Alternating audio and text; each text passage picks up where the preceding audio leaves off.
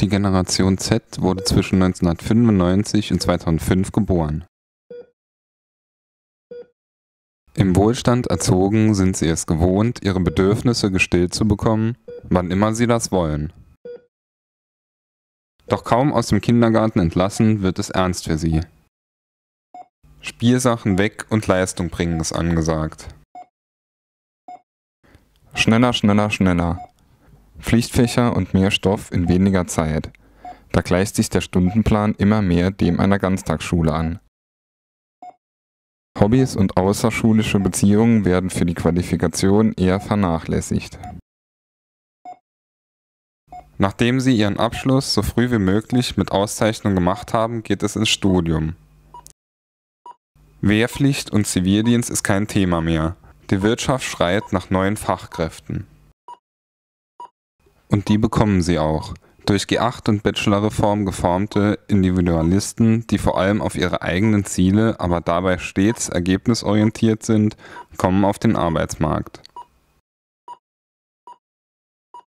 Digital Natives wird die Generation auch genannt und wie es der Name verrät, sind sie mit den neuen Medien aufgewachsen und nutzen diese privat und beruflich. Mit anderen Individualisten kommunizieren sie über sich selbst, über ihre Facebook-Lebenslinie und natürlich über ihren Arbeitgeber. Und Teambesprechungen finden natürlich nur noch in virtuellen Konferenzen statt. Allgemein kann man den Generation Zettler wirklich nicht mehr als Teamplayer bezeichnen.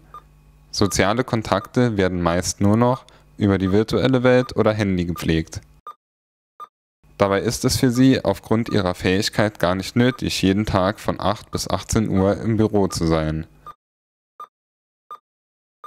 Da sie sich ihrer Fähigkeiten stets bewusst sind, nutzen sie eine günstige Gelegenheit ohne Rücksicht auf Konsequenzen oder eigene Wertvorstellungen nur zu ihrem Vorteil. Deshalb könnte man sie als sprunghaft und unloyal gegenüber anderen, im Besonderen den Arbeitgebern gegenüber bezeichnen.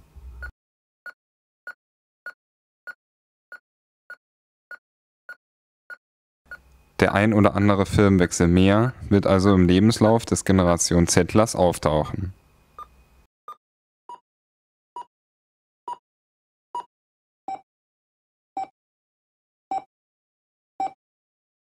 you